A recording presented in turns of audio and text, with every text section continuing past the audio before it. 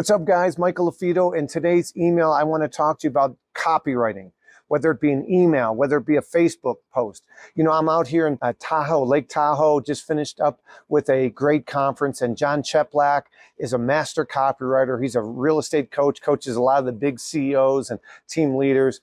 But he reminded me of three simple things, and those simple things are hook, story, close hook story close so a hook is another word for a hook is a headline something that grabs somebody's attention whether it be a post whether it be a, a written advertisement whether it be a cancel and expired mail, mailer what's your hook what's your headline okay? Hook story and then close. Another thing for a close in closing could be a recap could be a call to action.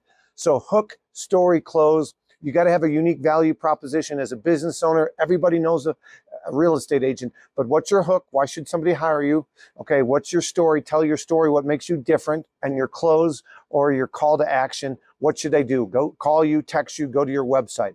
Hook Story Close. My name is Michael LaFido. I hope this is helpful to you. Take care, everybody. And don't forget, get a copy of our book absolutely free. Go to freeluxurybook.com. You can get the download free, or if you want the physical copy sent to you, just pay the shipping and handling of $9.97. Or if you want, you can go to Barnes & Noble or Amazon and pay the 30 bucks plus shipping. But I want to give it to you free. Download or the physical book. Michael LaFido. Take care.